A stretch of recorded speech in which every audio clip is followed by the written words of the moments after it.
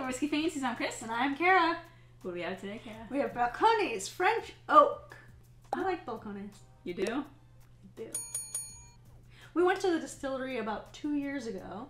We did. I did a flight Mhm. wi- with my brother. He was nice enough to join me. He's not a big fan of whiskey, but he, Was a trooper. he he's a Good one on you, Dave. love you, Dave. What a nice guy. Yeah. This was my favorite, and Mhm. instead of like a like a dummy, instead of purchasing it at the distillery and bringing it home in my luggage, Mhm. I decided not to purchase it.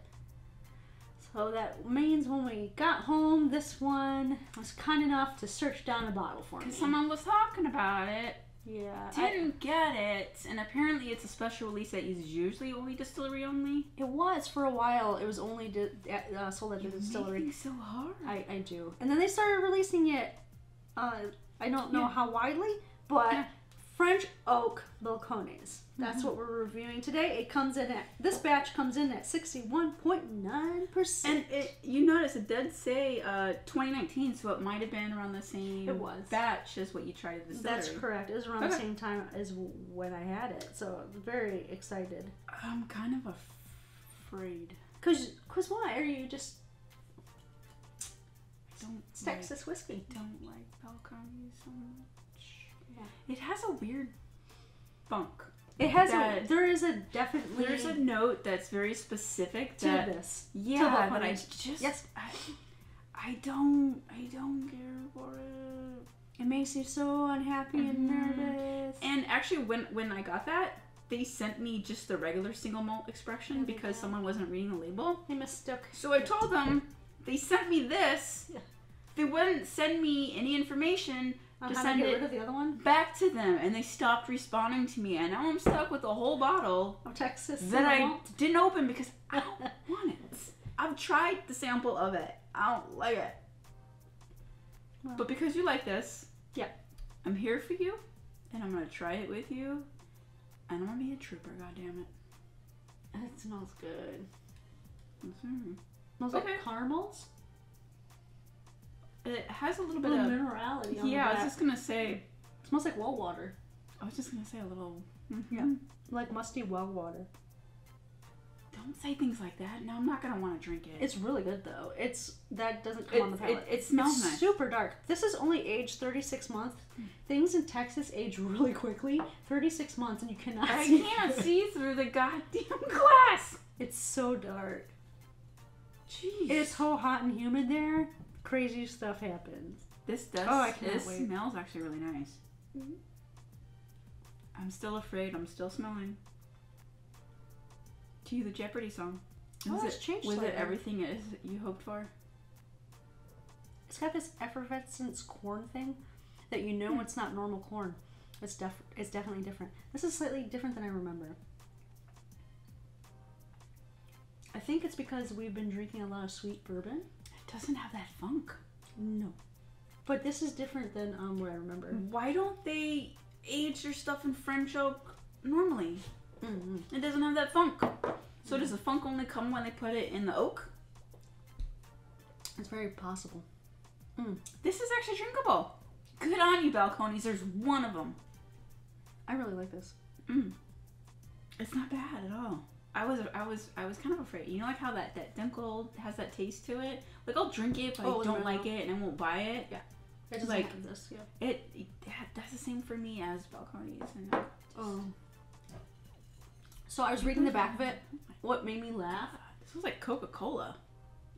It, it or root beer, yeah, for sure.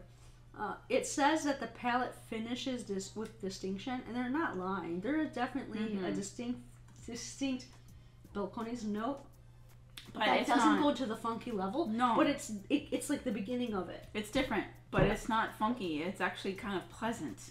Hmm. And I didn't think I'd ever put pleasant and Balcones in the same It's sentence a bit- in my It's entire a, life. is it a bit earthy? I don't get too much earthy. Something I think it's um whatever that minerality that you were talking about. tastes a little bit like a racer. I don't No? get eraser. No, okay. The rye though, the standard rye is like, like pencil pencils. shavings. Yeah, it tastes like that pencil shavings. so weird. That is, a, But a it didn't have the Balcones funk on the rye though. It's so cedar pencil. But I can't get anything but it's that. like you're a woodchuck I actually think could, Chuck would. yeah, I don't think we have any more of it. We only had a 50 Okay. milliliter sample, and I couldn't. It took a long time to finish. Actually, um, I would drink this. I would drink this. If you So is this the offered me second a pour this, I would say yes. So this is the second Texas whiskey you're willing to drink? Yeah. You know, but- Three. Three. What's the other one? We had my oh, lemon, my lemon green. green. I totally forgot how much I love them. There And and a I don't want to butcher it. Is it still Austin? still Austin. Still Austin. I got it right. Woo Still woo. Austin is my favorite so far. Yeah. And then This is the good well. but with big ol' asterisks. Only. French oak. Yeah. Yeah. This is very Okay. intriguing. Can you pick out any more notes on the palate? It's so different. Besides weird and tasty, Mm-hmm. let me try. It almost has a um. How I was talking about, like it's like Coca Cola. Mm-hmm. It almost reminds me of you know when you drink a Dr Pepper, at the very beginning before it gets all the bubbles and you get the syrup. Kind of reminds me on the front palate. Hmm. Like a syrupy soda. Yeah, but without so much going past that front part. So they get tell you on the what to expect on the back. I don't get. I don't know. My palate is not refined enough. I don't think to get that what they're saying. I think should get. But it's different. I like it though. It has a And sweetness had- that I don't know how to describe it. It's definitely corn. That much shows through. Um, but I, I, I don't. It's almost like is this still like tingling in my mouth? A little bit of you know that that saccharine kind of sweetness. Yes. Yeah. Yes. But that's only after it's Yes. It's just what I'm left over Yeah. with.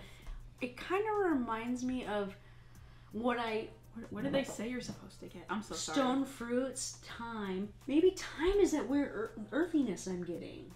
That could be. I don't eat. What is thyme? It's a herb. Is there a spatial distance between thyme and no? Oh Jesus.